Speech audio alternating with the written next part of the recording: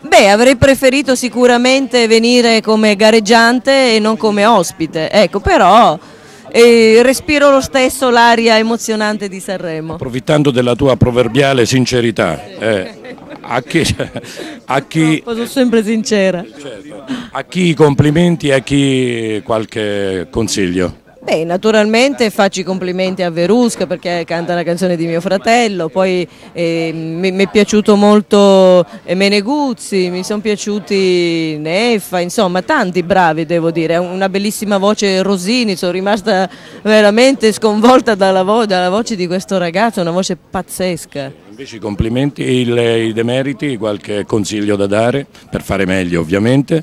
Beh, eh, ho, ho sentito qualche clone, qualche clone c'è.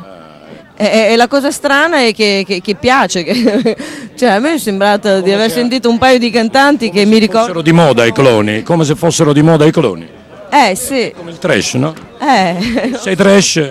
che no, no, questo io non lo voglio dire. No, dico oggi Però giorno. sicuramente insomma, è difficile avere una grande personalità e anche per quello che escono pochi giovani, perché il giovane deve avere qualcosa di nuovo da dire, deve essere diverso da tutti gli altri cantanti che ci sono già. Marcella, un accenno per uno SAT a TV7 di un tuo evergreen. Eh? Un accenno. Un accenno. Beh, stasera cenerò Montagne Verdi, che voi conoscete tutti. eh. Regalacelo dai. Mi ricordo montagne verdi e le corse di una bambina con l'amico mio più sincero, un coniglio dal muso nero